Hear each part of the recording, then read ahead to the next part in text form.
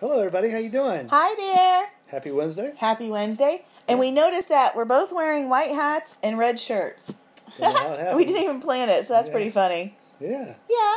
But we're streaming live tonight from our bedroom because Mr. Diggles has um, use of the living room because he had his snip snip surgery today. Yeah. So the living room is set up for his recovery. So Yeah. we're in here so he doesn't get all excited hearing us talk. Yeah. Unfortunately, he's, he had to go from whatever he was before he's not now.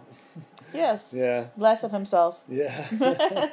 but he's doing good, so that's good. yeah. So I'm to send our He's still a cute little booger. He is, and he weighs 10 pounds, so poor little thing. Yeah. But hope you guys all had a great day. It's Wednesday, and um, hope y'all are staying safe and diligent. Yeah. All that good stuff. Yeah. And we're good. we're on Hebrews 12. Hebrews chapter 12. Hi, Mom. Thanks for joining us. Hello there. Mom's babysitting Diggles right now, so we could do this. So thank you, Mom. She was in the dog cage, actually. She was. We're all taking turns getting in the cage with him. Yeah. We're all hanging out. We're hanging out. That's his clubhouse tonight, so we're hanging out with him. Mm-hmm. And, uh, he's getting special treatment. He's um not spoiled at all. No, he's not. So yeah, I mean, our cage when we were kids was smaller. really. Yeah. Hmm. Remember those cribs they used to put us in? No, my mom used to hang me upside down off the um the roof shingles like Christmas lights. Wow. Right, Mom? That's because you were the brightest one. yeah, That's funny. yeah. yeah. Oh, that's funny. Well, hello, everybody. Hello. We'll get serious now. so, anyway, starting with Hebrews 12, I think, uh, and this is talking about Jesus. The title of it is Jesus, founder and perfecter of our faith. Yes, And um, Laura Dake has the first note. I do actually. the verse one, Lord, which Dave. is the first. But my note is kind of this is talking about run the good race and have endurance. And it was kind of telling us that we do need to have endurance. And endurance is kind of like having patience and being strong. And that endurance gets us through the good times, the bad times, the happy times, the sad times. But endurance gets us through the race. And that um, with endurance, you don't just have like a real quick run and sprint and then you lose strength and you kind of quit and die. But endurance helps you just run a steady pace all the way through and um, you get to the end. So um, it kind of helps us with our prayer life you know. We will have sometimes highs and lows and things but we just have to keep staying steady and patient and endure. Most definitely. Woohoo. Yeah, and um, and our, our endurance, what are we enduring in? prayer to god Yeah, in the Christian life. yeah in christian life that's a good Yeah, yes because actually, I mean, there's um, a lot of uh, phoniness on TV. They talk about Christian Yes. life being all joy, happy, and things like that, but it's a real life. It is. I mean, we're real people. We have real troubles, and and uh, sometimes our sight is bigger than our faith. yes And so that, I like you know that. Well, and we'll get off track, which is going to talk a li- in a little bit about discipline, but um, we'll get off track because you know I might be praying to. Um, this is an exaggeration, but praying to win the lottery, and really God's like, no, I don't want you to do that. I want this other road for you, which the other road might seem harder, but in the end, it's better. But I don't know that at the time, so yeah. yeah, So enduring through all that too. that's good. Thanks. I like that. Thank you. Well, um, verse 2, I think, uh, really helps us with this enduring as well Mm-hmm. because it talks about Jesus. I mean, his focus on enduring the cross. And because that was a lot, enduring He the. Mm-hmm. cross and stuff, and it was his love for us and everything like that. But it said, um, it says, for, for the joy that was set before him, he endured the cross. So he, he looked at that. We got to look at the prize. Mm-hmm. We got to keep our eyes on the prize. And um, that's like a, uh, people who just run like in races and they don't get a prize at the end of it, that's just practice. Because that doesn't mean anything. Right. But they want to run for a prize. They want to win. Like people who race cars, they want to win something. Yeah. So we're looking for to win the prize. Well, Jesus shows an example of that. How he endured the cross and everything to win us. Is looking at the joy ahead of what it what, was produced out of that. What I like too, So- how the cross was really a hard thing, but he had joy. Yeah, So I mean, he, you know? he, he even prayed, "Father, take this cup away from me, if it's your will." Mm-hmm. So it was that hard. He was sweating blood, but he was willing to endure it for the joy, the reward at That's the end cool of it. and special. Yeah. So we got I like that. we got to do what you said. Have that endurance. I love you. Yeah. Well, I had a note on number seven, and I just, it's not really a note, I just, I just like it. Um, but it's like we were just talking about. God has to sometimes dis- discipline us, and it's not like He gets us uh, the paddle out and spanks us, but you know He disciplines us because He's our Father and He loves us, and um, when we get off track, He kind of gets us back on the right track, and so um, discipline is loving. So that's kind of cool. Yeah, in today's society, discipline is kind of shunned. Yes. But then um, people don't have good direction in their life. They're Mm-hmm. not trying in life, and uh, we God's direction keeps us like we get, uh, like you said, not punished, but you know, corrected, so that we can have the best. Mm-hmm. Yeah. you just said that a minute ago about having the best. Well, things I would be chaotic if it wasn't. We have to have boundaries and rules and stuff. So Yeah. it makes I sense. mean, we're real people with a real society and God. Yeah. So and we're sinful at our core, so bleh. yeah, we don't want that running wild. Nope. You put that put that in the bucket. Yeah. um, So, I also had a note on 12. I like this one for me. Just lift your drooping hands and strengthen your weak knees. Um, and that just, I take it, it doesn't mean it this way on here, but I liked it towards like my prayer life. You know, get my hands strong and quit drooping them and get on my knees and strengthen them. So I kind of like that for a prayer life. You know, just Yeah. get stronger in my prayers. that's really good. I like that one. And uh, on a side note of that, we Mm-hmm. have seen amazingly how the power of prayer has made a difference It does. in all of our lives. And Yes. so it's just, um, I like what you said there. I love you. Yeah, I can use that too. Um, and so, uh, let's see here. I don't have that many notes in this one because I was reading it, but I forgot to take notes. Well, my next note is 28, and I think you were going to tag onto it. But Oh, on 28, it's kind of towards the end there. But it was saying like um, about the kingdom of God and being um, thank- uh, grateful. But it says to let us offer God acceptable worship with reverence and awe.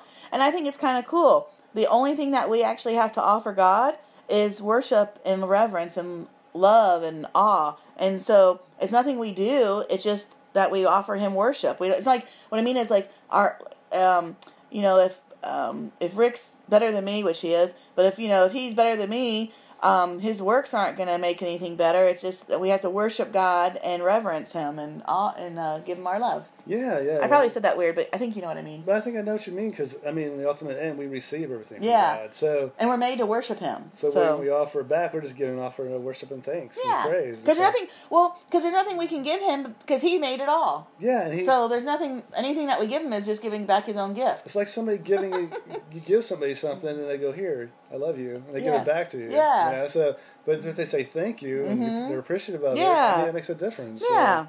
um, and uh, Peter said that um, that we offer spiritual sacrifices of praise and thanksgiving. Mm. So that's our sacrifices nowadays because Christ already completed the other sacrifice. That's our pretty cool. sacrifices of praise and worship and thanks. So I like that. yeah, But you had a note on something before, but um, maybe I passed it up on you.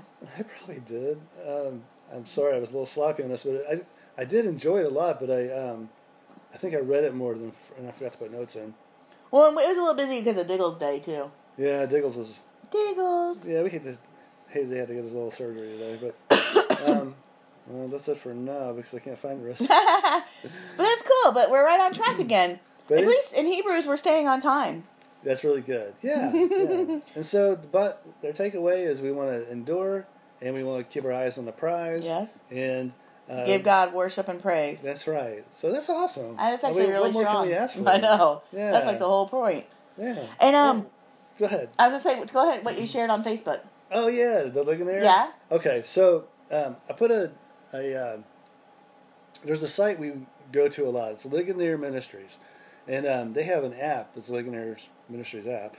But today, for the first time, and they're going to run this for a few months, they're giving they're letting their teaching series be for free. Mm-hmm. That's like 2,500 uh, teaching uh, series, you know, of different stuff. And and um, if you've ever had questions like, like when you're studying the Word of God, it's to put everything together. You have to know the end, the beginning to end, to make something work.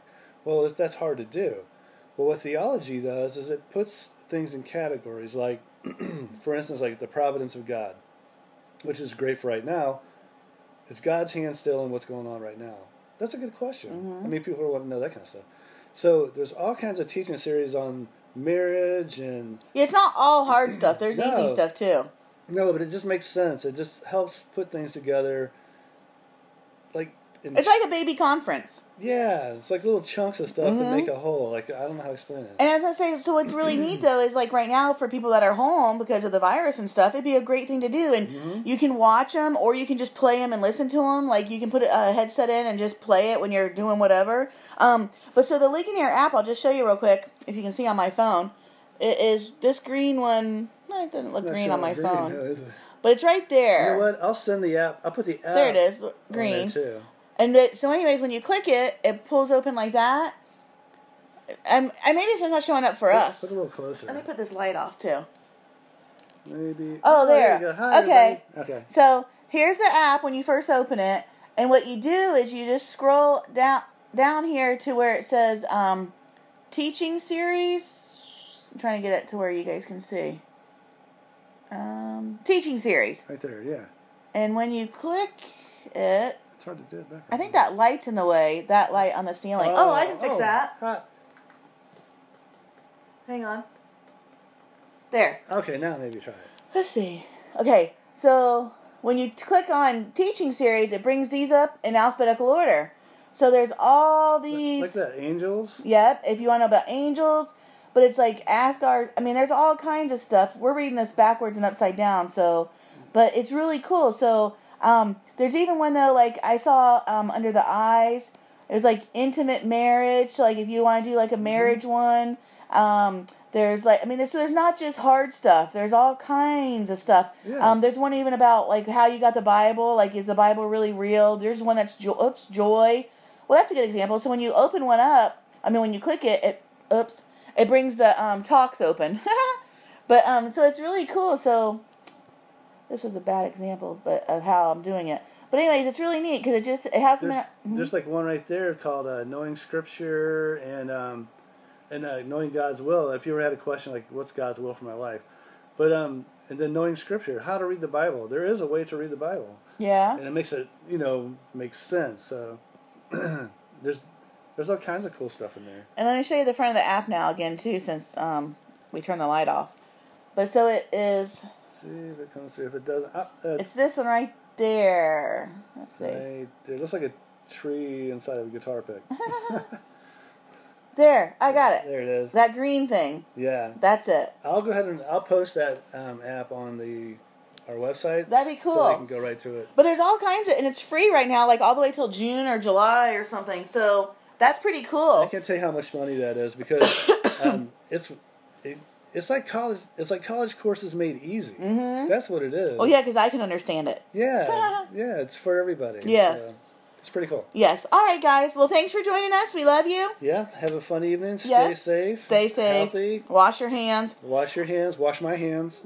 Um, in case I don't know how much you guys are into everything and stuff, but we did also hear and reading on it's on the um, websites, not our website, but on the CDC and stuff. But the virus can um, um, be in the air for like several hours. I forgot the amount. I want to say like three, but I'm making that up. But it can actually just be in the air for that long. So besides staying six feet away from people, the air is contaminated for that long um, if somebody goes through there and like sneezes or coughs. So be really careful. And um, surfaces like like doorknobs and stuff like at restaurants which now are mostly closed but if you like go to the store um, just be real careful because when you're touching something um, you know most everybody's wiping stuff down now but you know some wipes aren't as strong or good as they should be but some of those surfaces can be 24 hours that virus can live on that. So be really really careful not to touch your face um, and just wash your hands and sing happy birthday or say a prayer while you're doing it but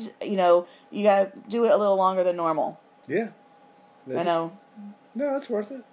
I love you all right guys love you Love you guys. talk to you tomorrow Okay. hebrews 13 and then that's the end of that book What? we got another one done together you guys That's cool. One this is really cool love amazing. you yes thanks for joining us Bye-bye. bye